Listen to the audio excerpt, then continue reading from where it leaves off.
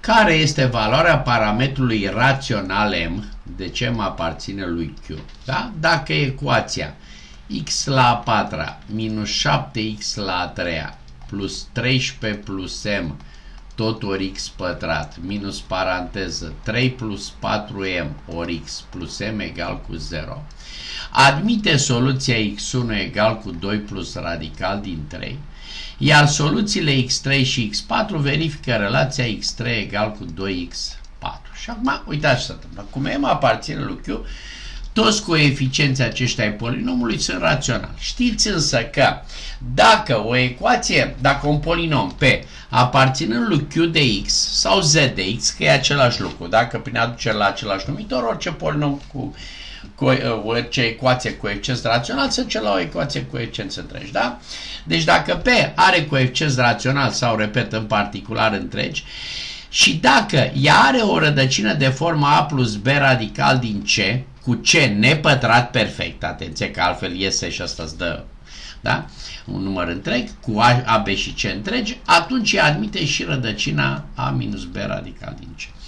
Și atunci, iată cum la mine rădăcina mea este x1 egal cu 2 plus radical din 3, înseamnă că polinomul admite și rădăcina 2 minus radical din 3. Și cum fac acum? Păi zic așa, băi, păi înseamnă că polinomul meu se divide prin cine? Prin x minus x1 ori x minus x2, nu? Pentru că și el o să mai aibă și restul de rădăcini, x minus x3, x minus x4. Hai să vedem cât este polinomul ăsta. Păi ăsta vine x minus 2 minus radical din 3 pe lângă x minus 2 plus radical din 3.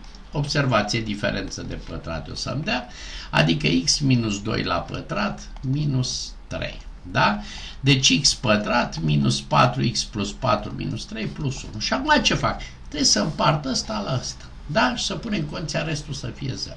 Deci avem, odată, facem împărțirea x la 4 minus 7x la 3 plus m plus 13x pătrat, scriu la, mai la distanță, așa, da?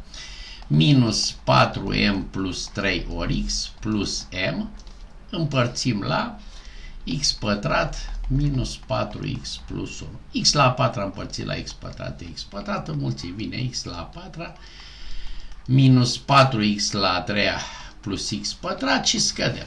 Da?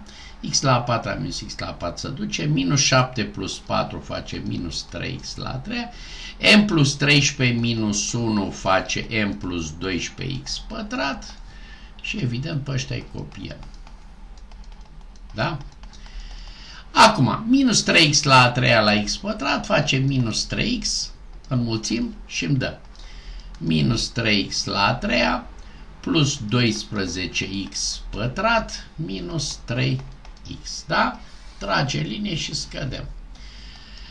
m plus 12 minus 12 dă mx pătrat minus 4m plus 3, minus 4m minus 3 minus ăsta, adică plus 3, iată rămâne minus 4mx plus m. În parte are mx pătrat la x pătrat, dă m, facem mulțirea, dă mx pătrat minus 4mx plus m. Da? Ori ăștia, observați, s-au redus cu totul, da? Prin urmare, ăsta este câtul împărțirii, dar restul este 0. Dacă restul îmi dă de aici, îl scoteam pe m. Vedeam cât este m, da? Din conția ca restul să fie 0. Prin urmare, iată, rădăcile x3 și x4 sunt ale cui? Polinomul nostru p, iată, este x pătrat minus 4x plus 1, ăla cu rădăcile cu 2 radical din 3, pe lângă x pătrat minus 3x plus m.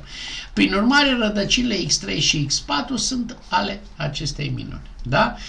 Relația lui Viet ce spun? x3 plus x4 egal cu 3, x3 ori x4 egal cu m.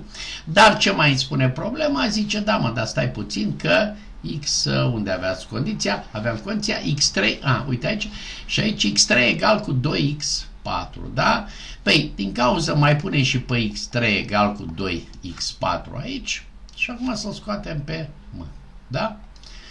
Păi îl înlocuim, ce îmi dă? 2x4 cu x4, 3x4 egal cu 3, iată, x4 egal cu 1, x3-ul cât îmi este? 2x4, adică e 2, și înlocuiești aici. Deci m care e x3 ori x4 e 2 ori 1 egal cu 2. m egal cu 2 și am terminat problema. Răspuns corect D.